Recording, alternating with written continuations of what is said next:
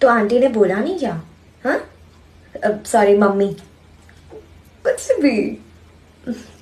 अच्छा mummy mummy ने बोला नहीं क्या?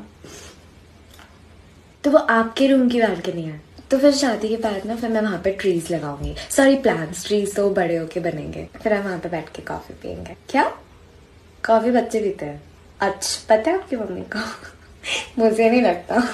मैं पता आप ही तो बोल रहे हो कि बाहर जाएँगे तो उसके लिए पासपोर्ट लगेगा ना? मेरे पास नहीं है पासपोर्ट हाँ तो बताओ ना क्या डॉक्यूमेंट मैं चिड़ नहीं रही हूँ, मैं आपको कब से बोल रही हूँ मेरा पासपोर्ट नहीं है? तो आज चाचा चाची आए थे, इतनी तारीफ़ कर रहे थे, इतनी तारीफ़ कर रहे थे आपकी। मैंने बोला, इतना भी कुछ खास नहीं है उनमें। हेलो फ़ोन कहाँ दिया हेलो यार, आपसे मज़ाक भी नहीं कर सकती क्या मैं? पर आप लंच क्यों नहीं करते? हो ऐसे तबीयत खराब हो जाएगी आपकी।